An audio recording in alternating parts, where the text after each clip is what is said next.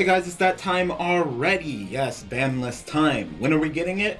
I don't know. It's freaking TCG list, so we never know. So it's July, maybe July, maybe August. I don't know. Uh, usually I would be putting up a ban list prediction around this time, and generally I like to get my ban list predictions up early. But uh, I don't know. This one's tough. This one's tough. Are they gonna do like maybe a small list for maybe nationals, or maybe not do a list and wait after nationals? Generally, we get that big fall list. I'm not sure. So uh, I do I do have kind of a ban list prediction, but for now I decided to go ahead and just do top five cards that should be hit that Konami probably won't hit. So I have my ban list prediction. I really do. I, am looking at it right now. I have my ban list prediction, but there's some cards that I was kind of like, should these cards be hit? Yeah. Will they be hit? No. And I didn't put them on there. So none of these cards are on my ban list prediction. So uh, I thought it would be a cool, fun video to do. So, uh, you know, some of these cards are much worse than others, of course. But I'm just gonna go down the list. I think in this particular order. I think from I think from uh, not as bad, like it could probably be okay not getting hit, to like yeah, it should definitely be hit, but I doubt Konami's gonna do it. If it does, then hey, hey, awesome. But uh, let's go ahead and get started. So starting off with number five, I have Brilliant Fusion or Gem Knight Seraphinite. So this is starting to become an engine. Starting to become an engine. It's pretty much always been an engine.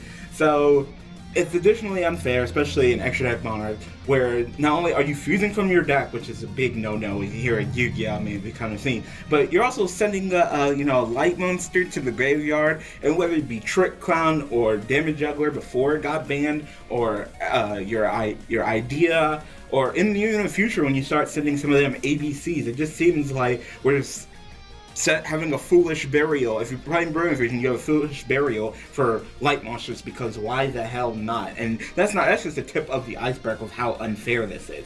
So so it's like wait wait let me get this straight.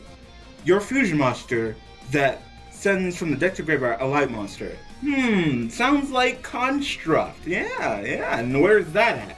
So that's already ridiculous. Being able to be like, hey, you know, I have I can foolish light monsters, so that's totally fair. Like, if this foolish dark monsters, we would already been on this card's dick. But because it's light monsters, you know, it's debatable in the community whether it should be hit or not. Some people say yes, some people say no.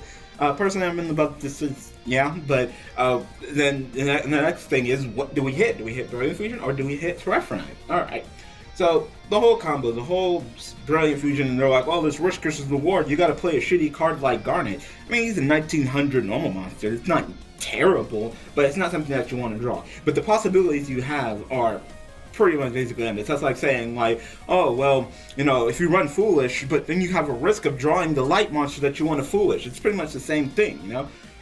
You have a risk of drawing Garnet, yes, but in exchange, you get to run Brilliant Fuse, which means that you get Fuse from your deck, send a Light Monster, summon this level 5 monster, which of course can have shenanigans, uh, pretty much like a insta fusion target at that point, depending on what you're going to do with it, whether you exceed with it, use Retro Deck Monarchs, Tribute, uh, whether you go ahead and synchro with it, or if you actually have a level 2 tuner Gofu, uh, you can go ahead and make Ultimate Tzolk'in, and yay, everybody loves Ultimate Tzolk'in. Uh, spoiler alert, Ultimate Tzolk'in's not on this list, you know? I do think Ultimate Tzolk'in will get hit eventually, but it won't be this list. It won't be this list. So, yeah, I mean, it's a shiny. Oh, and of course the double normal summon, uh, that's freaking awesome too. So overall, this is just way too powerful an engine to just be thrown in. It's, it's really splashable, really flexible, and of course, with uh, with uh, kind of hitting Upstart Goblin, only was it to prevent your whole chicken uh, race FTK, but uh, remember to prevent some of that cookie cutter shit. And uh, what's really cookie cutter? All right, just throwing in freaking Brilliant Fusion in almost every deck lithium. So uh, I can definitely see uh, Brilliant Fusion getting hit, but then probably not, you know? So uh, it's between those two. Uh, definitely, it would either be Brilliant Fusion Limited, which would you still have the ability to do it, but it would just lower the consistency of it. So it would kind of like be a fusion for, uh, I mean, a foolish for light monsters that you only get once. So it would pretty much be a foolish. Or Seraphinite ban, which I think that, uh, that would be the correct answer, banning Seraphinite. Uh, that way, of course, Brilliant Fusion, that would still be at 3 for Gem Knights, which, you know, would really appreciate that card, but don't really, uh, you know, abuse Seraphinite as much as other decks do, where it's just like Seraphinite or bust. If Seraphinite gets banned, not only are you not foolishing any light monster, but the additional normal summon that Gem Knights generally don't take advantage of, but other decks would, uh, is not there either. So it's another one of those Insta-Fusion versus Norden things, uh, and I was for the ban Norden and leave Insta-Fusion at 3. So once again, I'm with ban Seraphinite, leave Brilliant Fusion at 3. So I don't know. But yeah, that was number 5. Moving on to number 4, we have Kozmotown. Uh, yeah, Kozmotown. Yeah. Uh, should Kozmotown be hit? Yeah. Should Will it get hit? Probably not. I don't expect anything in Kozmos to really be hit for the July list because it, you know, the July list is generally the smaller kind of list. I mean, uh, almost all of Konami's lists are kind of, but uh, it's a smaller list that generally doesn't do too much. Kozmos aren't going to be at World, so TCG Konami would probably be like, eh, we're not gonna go ahead and hit Kozmos. Leave it till November, earn a little bit more money, and then we'll go ahead and hit it. So, you know, maybe outside of like maybe indirect hit, maybe emergency teleport to one, I seriously doubt I see, uh, you know, Kozmos taking too much of a hit. Now, can I predict the hit that they would get? Yeah, sure, but you know, I can I can easily see them just not getting hit. But a great hit would be Kozmotown. Like Kozmotown is so safe, so safe. It it, it, it, it just uh, just you know protects you. It allows you to go in. Like Kozmo Town is not. It's like a Kozmo condom for them. You know, like all the effects are so good, so good. Uh, you know, Kozmos with their lower end and their upper end, you know, and having to have a combination of them both to really do well, they can easily dead throw. You know, it's kind of like with Monarchs. They can, if you don't have the right combination of cards, you can easily get a crappy hand. But uh, let me go ahead and press that reset button. Go ahead and put them Kozmo Monsters back, reshuffle and draw them to the cards that you shuffle back. Is that cool? Like, so it gives you a reset button, of course, to go ahead and get your banished monster. So that's just safe as hell. Like, uh, uh, when you're doing against a Kozmo, there's a huge difference between facing Kozmos when they don't have Kozmo Town and when they do have Kozmo Town, and it's just so safe. And of course, uh, when it's destroyed, you can go ahead and add a Kozmo card, including its freaking self. So you don't even want to touch that Kozmo Town. You know, uh, you know, limited to one. Some people say banned, but maybe you limit it to one, just so you can't search for it. Like, I will gladly go ahead, take the neck, destroy your Kozmotown, go ahead and search. You know, that's fine. You know, it, I mean, it's a powerful effect to go ahead and get something back from me destroying the fill spell, because generally it's hey, hey, get rid of that fill spell, it's gone. Okay, whew, thank you, God. But at least you get a search, that's fine. But you can't search for it again. Once I get rid of that Kozmotown, it is gone, and I would really appreciate it if that was the case. So yeah, Kozmotown would be a great hit. That would be uh, that would just remove their their safety line. Just just like hey hey hey, take that condom off. I'm going in. Like oh wait hello, where am I going with this? But no, Kozmotown sh- should it be hit? Sure. Will it be hit? I doubt it. I doubt it. I don't think that Konami's really looking at that. You know, they're definitely probably looking more at Dark Destroyer and Can Can emergency teleport cards like that. But Kozmotown, that would be that would be a great hit. All right, moving on to number three. We have Pendulum Call. Pendulum Call how does that card not get hit? like, I there's a, there's a chance. There's a chance it can get hit with set precedence from the Street. They have one pendulum call, but then of course you also got to look at the other end. What does Konami generally hit? The deck set top. Has anything using pendulum call really top? No, not really. You know, uh, top four decks, none of them really pay pendulum call. Maybe some variant of Draco Pal, maybe a Poem deck, but pendulum call, it's a ridiculous card. I mean, it's a one card pendulum scale. I, I really think they should be limited. I pretty much put it in the same boat as Scout and Monkeyboard. Well, it's just like, well, it's technically two cards because it's this plus the card discard. It's not like the card you discard, it's a specific card. It's just any card discard. With this one card, um, i.e. Pendulum Call, you get your two magicians, you know? That's like that's like arguing that there's a huge difference between two MSTs and one Twin Twister. The Twin Twister is going to do the job by itself with the discard as the cost. So pretty much there's a difference between drawing the two Pendulum scales and this card, discarding any random card and getting the scales itself. And of course, uh, you of course cannot pop your your opponent's pendulum scales uh, for you know till the end of your next turn. It's just like it's just a pain in the dick, you know. And it seems like if we do all these hits, that you know you get, you generally get that Yu-Gi-Oh snowball effect. TCG Konami kind of did it last time, where they were kind of like, all right, well, we hit Performapals, but then they're like, oh, well, if we hit Performapals, then they'll go to Magicians. We'll go ahead and hit Insight or Wisdom Eye down to one. And it's just like, okay. Is Pendulum Call? And they're like, nah, Pendulum Call, that, that, that could be a three. I'm like, what? No, no, no, no, no, no. Like, Pendulum Call, like, that, I think that's immediately what they would turn to. With enough hits to, like, Draco Pals, they would just turn to more a the Magician deck, uh, base deck. And of course, you already know, Magicians are power. I mean, their Pendulum scales are nice, their their pendulum effects are nice. Uh, the plussing is nice. The searching is nice. The everything is nice. So you know that's nothing to scoff at. You know, Skyiris is nothing to scoff at either. So Uh, I was actually surprised that this card went unhit in TCG, but will it get hit? I mean, like I said, there's there's nothing to show for it. I mean, unless Konami just wants to straight up be like, yeah, you know, it hasn't topped, but maybe it will. So maybe we'll go ahead and hit the one. But you know, just from what we've seen from Konami, where it's just like, if it ain't top, don't hit it. I could easily see Pendulum Call skidding by another list, not getting hit, and then when they hit all the other pendulum based shit and leave this, then it'll come back and bite everybody in the butt. So, you know, it's not this list in July, maybe November, but I mean this this isn't a card that can stay at three. No, no fucking way. No fucking way. There's a threshold. And when we cross that line, people are gonna be like, oh wait, pendulum call is a thing? Let me go ahead and throw that card up in my deck. Let's go. So mm, alright. Uh, moving on to number two, we actually have two cards in this position, and it actually has to do something with the Pendulum Call shenanigans, with your Magicians being that upper scale 8, and of course with uh, Metal Foes being that upper scale 8 as well, the Pendulum scales. Uh, for number two, we have Majespecter Kirin and Apex Avian, because they're pretty much in the same damn boat. So there are these powerful monsters, of course, and generally they're gonna you have to go through hoops and summon it. It's just like Majespecter Kirin's like, hey, well I'm level six my Majespecter group, they, they don't pendulum summon that high, so if you want to summon me, you're gonna have to tribute summon. But then there's just like, hey, we're upper scales, we're generic, we can just go ahead and summon the Kirin for free. And you, I mean, come on, come on, you're watching this video, you already know the Kirin's a son of a bitch to get rid of. Like, unless you're playing Kaiju's, you're probably not getting rid of that Kirin. It, it's gonna get, it's gonna wreck you. It can't be targeted, it can't be triggered by card effects, and it can bounce itself. You know, it, it's, it's ridiculous. So, Kirin should probably go ahead and get hit down to one. It really should. You know, we shouldn't be able to have just three Kirin go ahead and throw it, especially with uh, Metal Foes coming out and that power and that shenanigans. You know, Day and all that shenanigans. We've been seeing that in the OCG, so just go and tri- throwing triple Kirin, and of course, with Pendulum Call still three. You got your Magicians throwing uh, Magicians with triple Kirin. I mean, and it's a lower scale too, so you could go and slap down the Pendulum scale as a lower scale if you need to.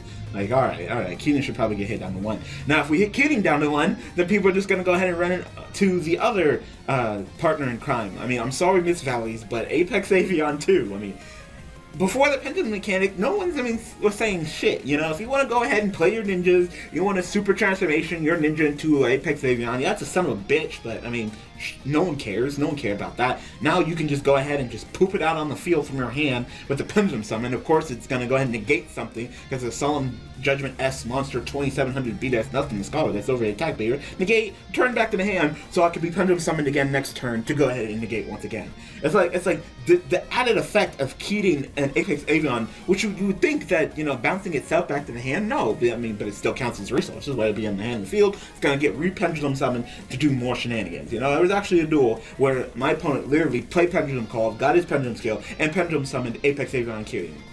Scoop! Like, like no, no, no, no, no, no, no. So I think both of these should be limited. Like both of these cards should be limited to one. And it sucks that we have to do that, but you know, the, you, got, you have casualties when you have a powerful mechanic like the Pendulum Summon, where it's just like, yeah, go ahead and summon monsters from your hand. Sure, you know, you got that Pendulum skill. Eight summon that Apex Avian. Summon multiple Apex Avian. This effect is it once per turn. So if I go ahead and Pendulum summon three Apex Avians, I'm negating three of your shits. And and I, it's not like I die. I'm just, I'm just going right back to hand. You pendulum summon back next turn. Hopefully you got your second solemn strikes. Oh wait, that card should be hit too. So, uh, yeah, yeah, these two definitely. Kirin and Apex Avian should both be limited down to one. At that point, they would probably just be staples and pendulum-based decks, but at least their consistency would be lowered.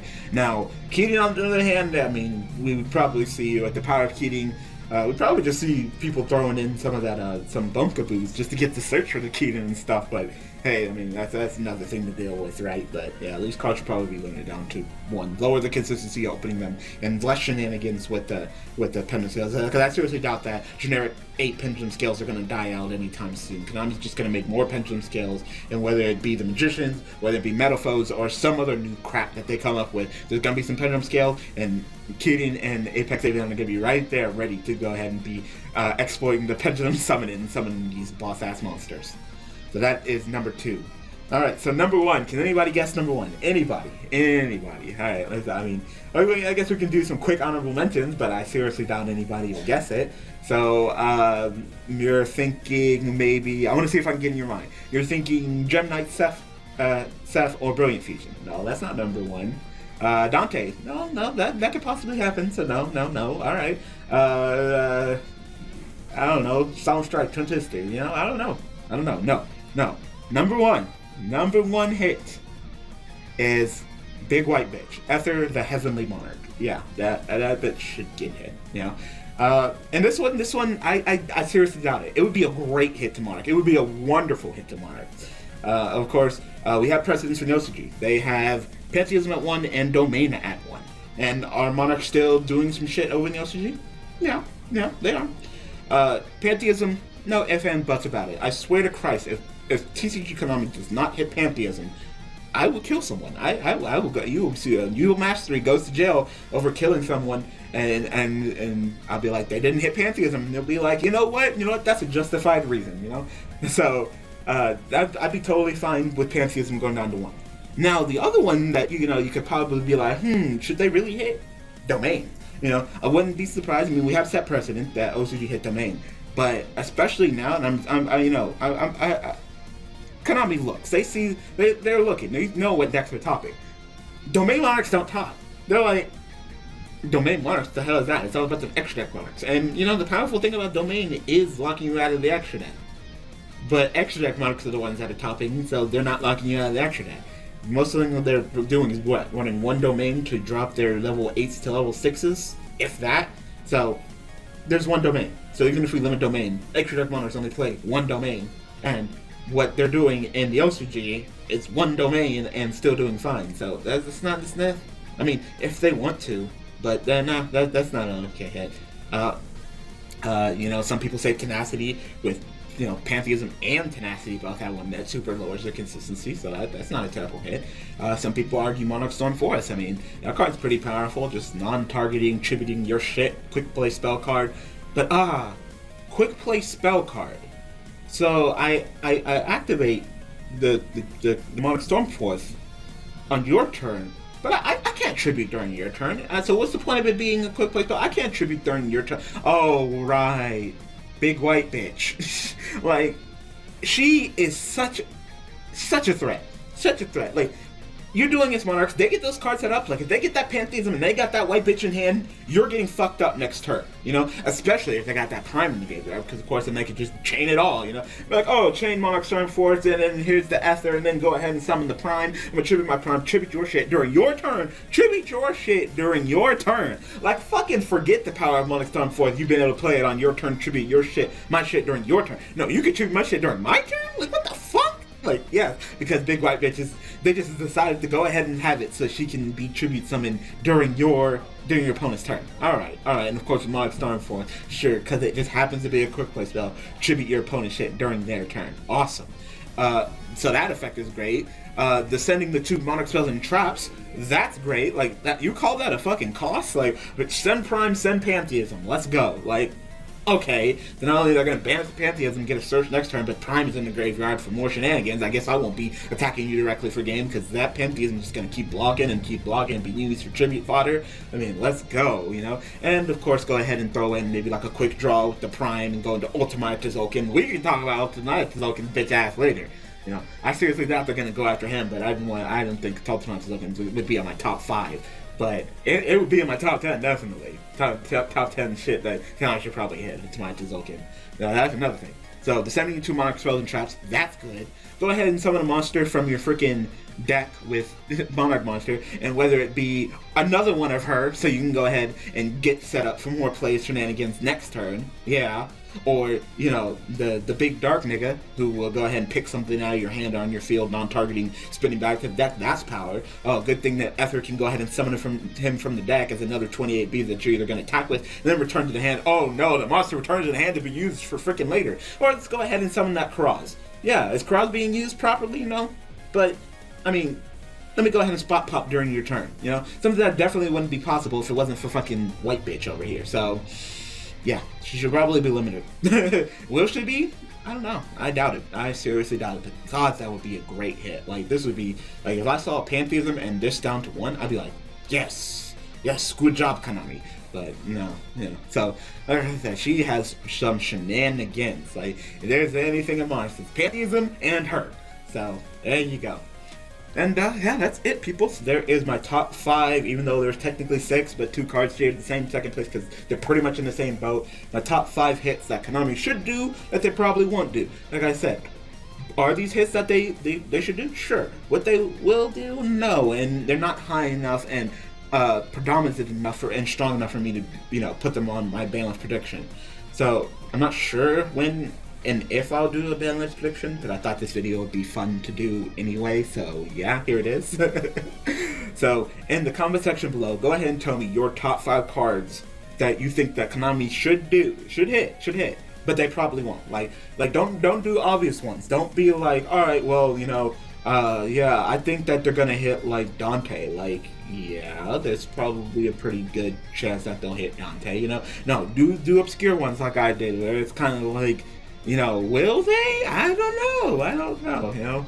So tell me what you guys think about this top five list in the comment section below. I hope that you guys enjoyed this video. And uh, like I said, if I do a ban list prediction, I'm not sure when. I mean, I'm looking at it right now. It's looking fine but I'm just not sure. You know, it's Konami. When when's it? When, when do we uh, get this ban list? I don't know. It used to be easy. Just be like, hey, this is the end date. All right, I'll do my ban list prediction a month before that. The the you know the actual update of the list. I'll get my ban list prediction video up early. Awesome, great. But now it's just like, oh, well, whenever Konami feels like it. It could be tomorrow. It could be next week. It could be a year from now. It could be on February fucking 31st. We don't goddamn know. It's goddamn Konami, right? So, uh, yeah, I am done with this video. So thanks for watching, thanks for all the support, and I will see you guys next time with more of these ban list videos. Thanks for watching.